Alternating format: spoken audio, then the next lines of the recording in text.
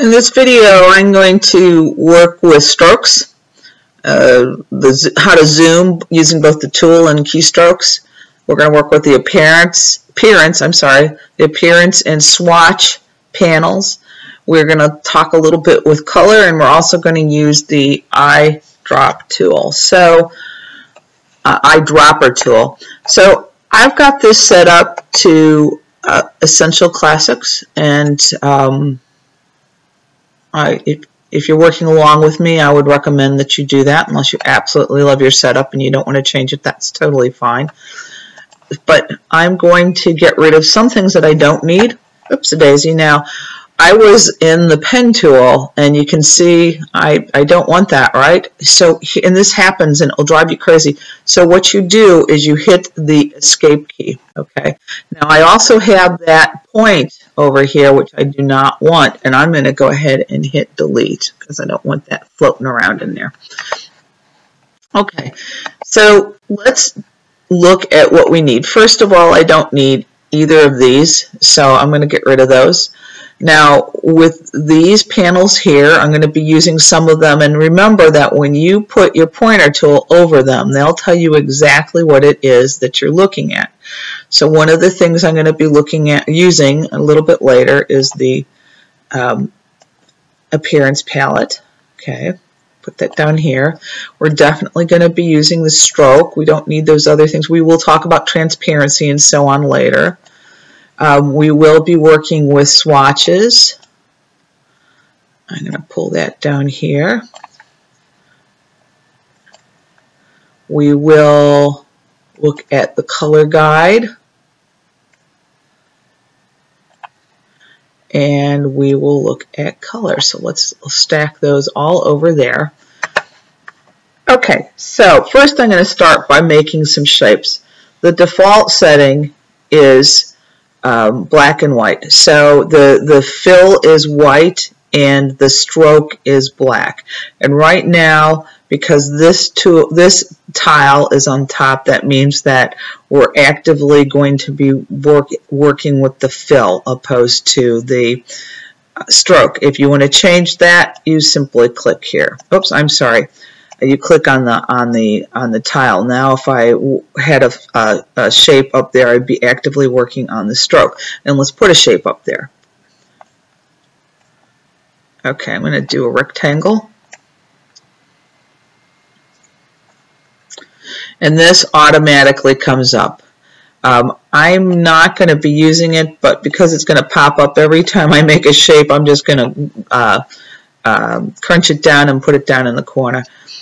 Um, another thing that I would like to have is I would like to have a triangle. So a reminder on that, you get the polygon tool and you click and um, it, the default setting is 6. Um, I've already used this recently so it's still picking up the 3 that I had on there. But you would change that. This would be the default setting. You would see this. We simply click on sides and bring it down to 3 and say OK and it's so tiny. It's so, so amazingly tiny. There's a couple ways we can, actually I'm just going to get rid of this because that's kind of ridiculous. So, um, because I know it's set at a triangle, I can simply click and drag. There we go. And I'm going to get my selection tool and move it over. And one last thing, and we're not going to focus on this today, but I do need it for my discussion on strokes, is I'm going to make just a basic line using the pen tool. And to end that, because I'm not going to close it off, I'm going to click, I'm going to click on the escape key, and there we go. That's that basic line. Okay, so um, let's talk about a few tools. One is the zoom tool. Now you can you can zoom in a, couple different manners. One is you can go ahead and grab the tool here and you can click and you, you'll notice in the in the center there's a plus so that's telling me whatever I do it's going to make it larger. So I'm going to click and mark I'm going to click and pull it up. Okay, so that's one way. Now I'm going to put this back to the standard size, which is control zero. And um, let's say I want to zoom out. So what I would do is I would hit the Alt key and you can see how my pointer tool has now become a negative. So that's that's one way to do this. Okay, Control Zero.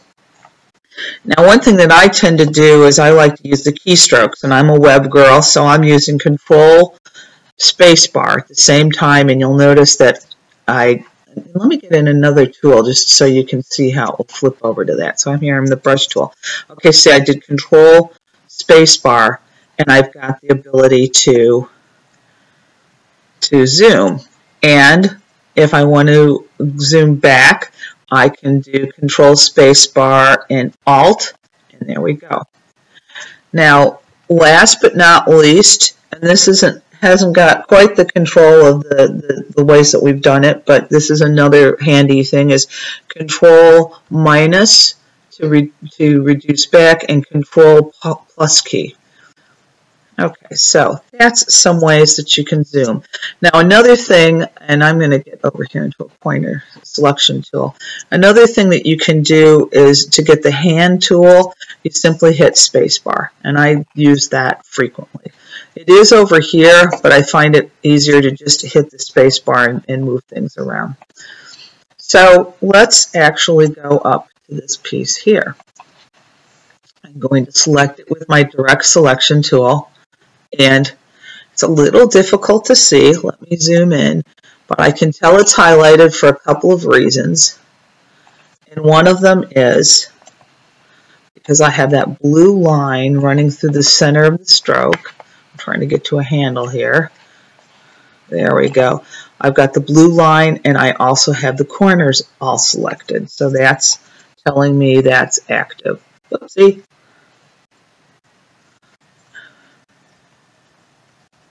I'm zooming out here. Okay, so I'm going to grab the, the, the stroke palette, and this is what it looks like when you first pull it out. The options are not there.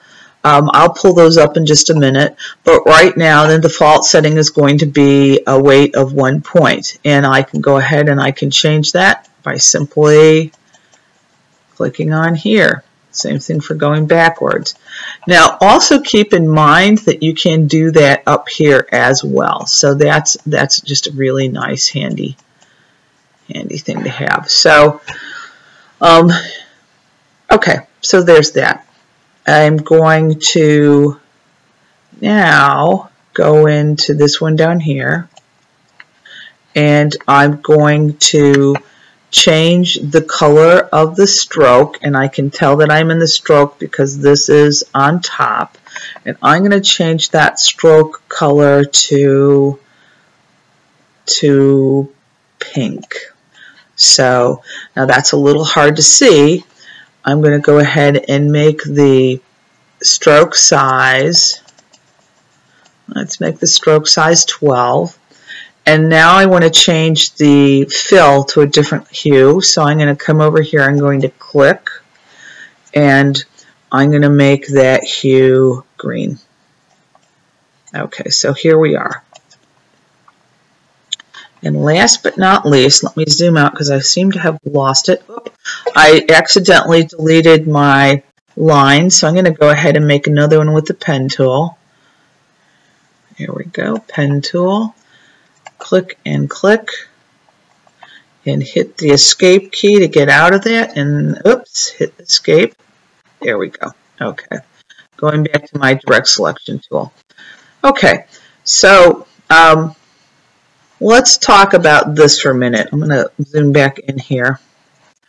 And things that you can do while you have the shape selected you can change the fill. You can just swap out the fill and the stroke color if you'd like. Let's say I wanted to have no fill at all. I don't want it to be white. I want it to have no fill. So if I have a background color that's purple, when I take the fill out, it's going to show the purple background. So here we go. It's that simple. I do want that back in there, so I'm going to Control Z it, put that in there. Um, also, if I, for whatever reasons, need to go to the default, the original hues, I click here And there we go. But I actually want it to look like what it was, so Control Z. So another really handy thing about the tool palette is if you click on the options, which are these three little lines over here, show options, you can see I get a variety of things that I can do. So um, first let's go up to uh, the caps, which is over here. And again, we will talk about uh, using the pen tool in a later video, but I just want to at least let you see what these do. So I'm going to go ahead and select this.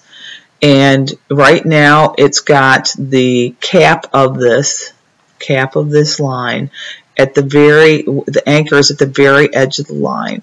If I click on this, you can see the edge of the line expands past that anchor and it rounds. And then we also have this one as well. It's still a flat one, but it's past the anchor. So this is caps. Now let's look at corners.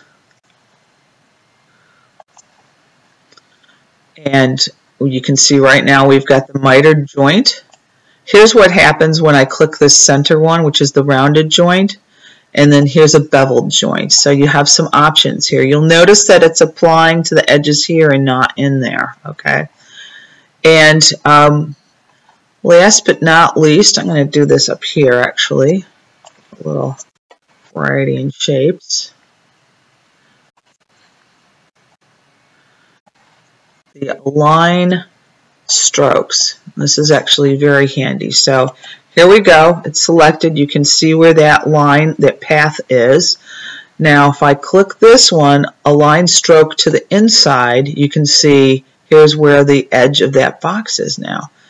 If I do this, it's pushing it to the outside. So when we do the doodle project, this will be a very, very handy um, thing to have and to, to be able to use. Now another thing you can do in the options of the stroke palette is you can create a dashed line. And, and right now it's doing 12 point dash with a gap that's 12 points. If I wanted to change out the distance between the gaps, let's say I want it to be 12 point dash with a 6 point gap, you simply type it in there. And you can see it goes so on and so on and so on. You could change this to a variety of ways. I'm not sure that, you know, maybe there's a reason you'll want to do this. Give yourself a little variety here.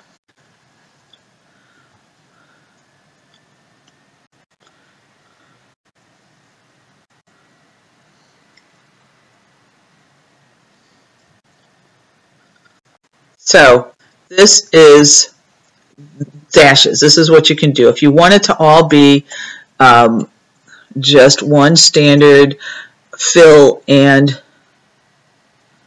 gap, you just do it in the first one and it will take that number and put it around. There we go. Um, so that's that's also something that's really fun to, to, to play with. So, okay, so there is that. Now let's look at a couple other things about color. And I'm going to put this over here.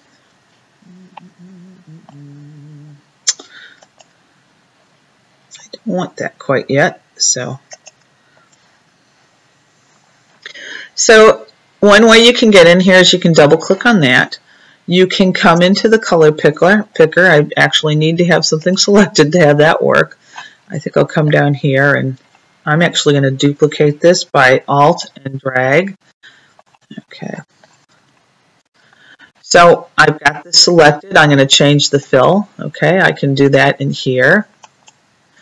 Um, there is also a swatch palette that some people enjoy using. And this is about the default here. Now you have the ability to get other colors in this and how you can do that is you go to swatch library menu which is down in the bottom left hand corner of that palette. There's other ways to get there but this is one of them.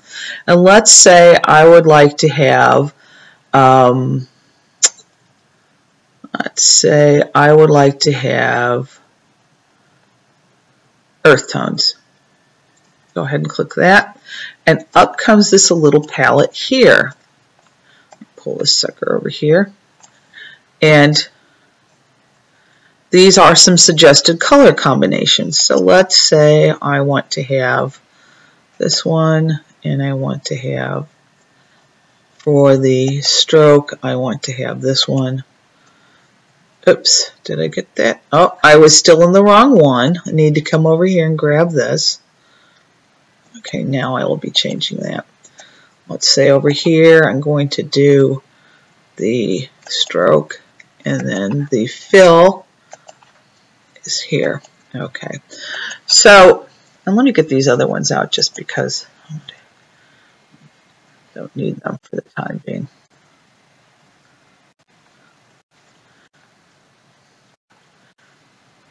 So let's say I want some variety on these in the sense of value. With this one selected, I can see here are some suggested value changes. Oopsie.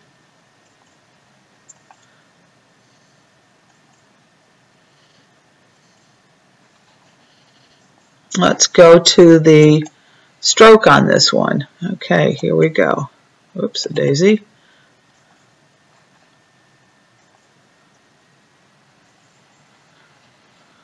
We go.